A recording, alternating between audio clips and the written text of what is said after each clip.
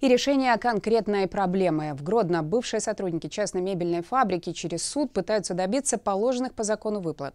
Шестерым это уже удалось, но в списке еще не один десяток фамилий.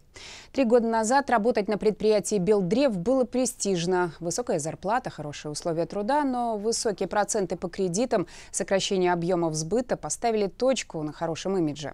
Заработки стали выплачиваться нерегулярно, рабочая неделя сократилась до четырех дней. Сотрудники начали массово увольняться. За полтора года штат сократился в шесть раз.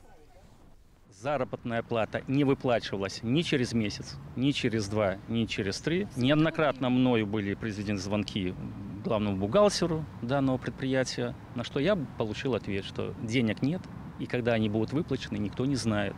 Это так повторялось несколько раз. Не дождавшись положенных выплат, рабочие обратились в профсоюз, а затем и в суд. В итоге шестеро взыскали с предприятия более 6 тысяч рублей. Правда, денег ждали больше двух месяцев. Счета компании оказались арестованы. Это наиболее проблемное предприятие на сегодняшний день в нашей отрасли. Мы отслеживаем, ну, не хочу сказать, что ежедневно, но в принципе раз в неделю кто-нибудь из специалистов нашего предприятия либо подъезжает на предприятие, либо связывается со специалистами данного предприятия, держит ситуацию на контроле. С некоторыми до сих пор расплачиваются не только деньгами, даже диванами и креслами. Обстановка на предприятии по-прежнему сложная.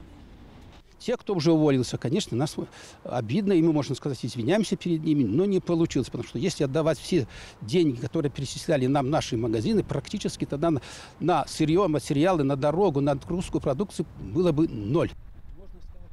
Сегодня на фабрике работают 150 человек. Даже им зарплата за июнь выплачена еще не полностью. Людям должны около 40 тысяч рублей.